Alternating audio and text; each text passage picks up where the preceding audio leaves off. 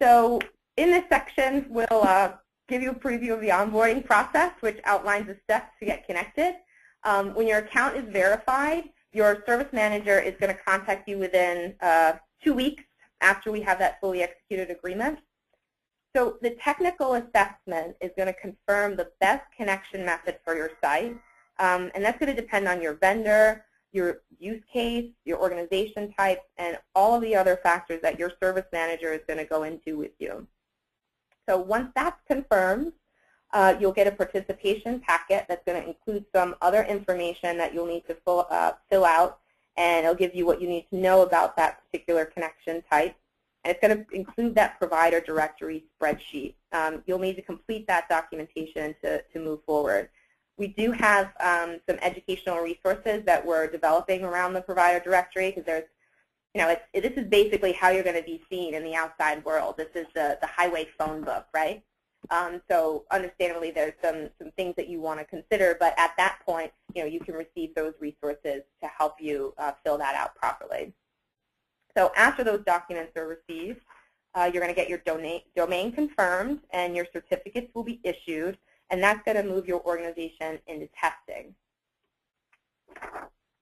So depending on your use case, depending on your use case, getting connected uh, to the Mass HIway is going to look a little bit different, uh, but the overview really is generally the same. So we first need to confirm your connectivity in a test environment. And once that's completed, uh, we move that connection into production or go live with your connection.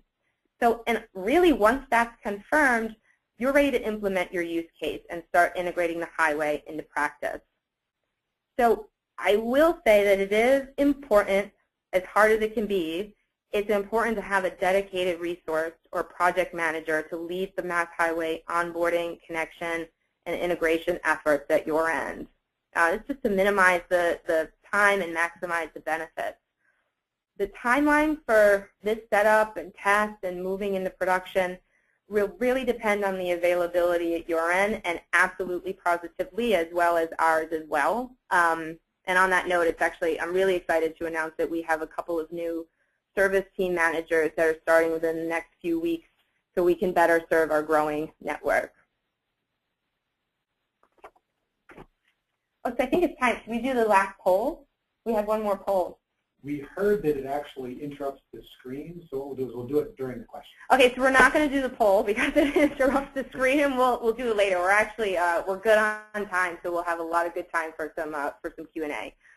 Um, so final thoughts and and key takeaways, and again, I, I know this is a, a lot of a lot of information on a lot of different topics, um, but you, know, you want to review the participation agreement now. This review can, it can take time whether or not you're reviewing it uh, with an attorney.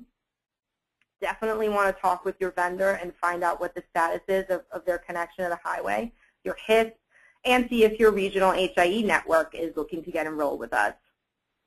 Um, and like to what Sean was saying before, you certainly want to engage more than just your IT staff. You want to speak with clinicians, your administrators, definitely your front-end staff and your registration staff uh, to just discuss the value of the Mass HIway and really, really to figure out what the best uh, initial use case will be for your organization. That can help best scope the efforts um, and can allow you to take a, a strategic approach to the Mass HIway integration. Again, try to dedicate a resource to the project at your organization to help ensure a, uh, a smooth, quick process. And the big one, which you know we, we haven't gone into in this uh, presentation at all, is it, you have to start thinking about consent early. It is outlined in uh, the agreement and the policies and procedures.